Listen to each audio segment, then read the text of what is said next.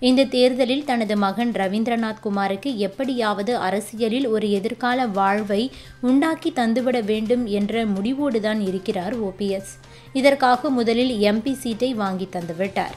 கோவிலில் சாமி கும்பிட்டுவிட்டு மகனுக்காக குடும்பத்துடன் தேனியில் பிரச்சாரம் செய்துவிட்டு அதுக்கு பிறகுதான் அதிமுகவின் மற்ற வேட்பாளர்களுக்காகவே பிரச்சாரம் செய்ய கிளம்பினார். தமிழக பாஜக தலைவர் தமிழிசையை தூத்துக்குடியில் வேட்பாளராக நின்ற போதும் அவரது கட்சிக்காக செல்லாமல் மாற்றுக் கட்சியில் ஓபிஎஸ் மகனுக்காக தேனியில் பிரச்சாரத்திற்கு சென்றார் பிரதமர் மோடி. இந்த இடத்திலிருந்தே ஓபிஎஸ்ஸின் வியூகம் தடம் மாற ஆரம்பித்தது. இதன் பிறகு வாரணாசிக்கு மகனை அழைத்துச் சென்றார். ஏன் போனார்? என்ன பேசினார் என்பது இதுவரை வெளியே வரவில்லை.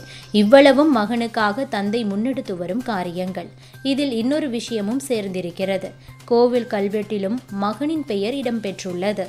பெயரை விட அவருக்கு எம்பி பதவியை அதற்குள்ளாகவே கோவில் நிர்வாகம் கொடுத்துள்ளதுதான் அனைவருக்கும் ஆச்சரியத்தை ஏற்படுத்தியுள்ளது.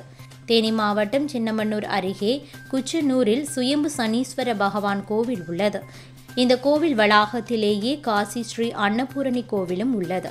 இந்த கோவிலில் கும்பாபிஷேகம் நடைபெற்றது.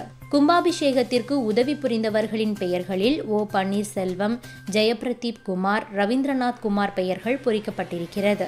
ஒரு குடும்பமே கோவிலுக்கு உதவி புரிந்துள்ளதால் இப்படி பெயர்களை பொறித்துள்ளார்கள் என்று எடுத்துக்கொண்டாலும் ரவீந்திரநாத் பெயருக்கு முன்னால் இருந்த அந்த வார்த்தைதான் எல்லோருக்கும் ஷாக்கை தந்தது. தேனி பாராளுமன்ற உறுப்பினர் ரவீந்திரநாத் குமார் என பொறிக்கப்பட்டிருந்தது. இன்னும் தேர்தலே முழுதாக முடியவில்லை. வாக்குகளும் என்ன ஆரம்பிக்கப்படவில்லை. முடிவு எப்படி இருக்கப் போகிறதோ தெரியவில்லை. ஆனால் அதற்குள்ளாகவே தேனி எம்பி ரவீந்திரநாத் பெயர் எப்படி போட்டார்கள்? இதற்கு கோவில் நிர்வாகம் எப்படி அனுமதி தந்தது என்றெல்லாம் தெரியாமல் தேனி மாவட்ட மக்கள் குழம்பி உள்ளனர். இது பற்றி உங்களுடைய கருத்துக்களையும் பதிவு பண்ணுங்க.